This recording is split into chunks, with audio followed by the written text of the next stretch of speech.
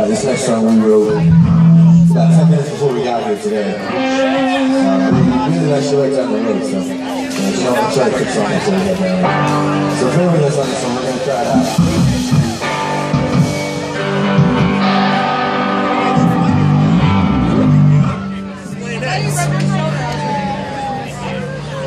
Sing along if you know it.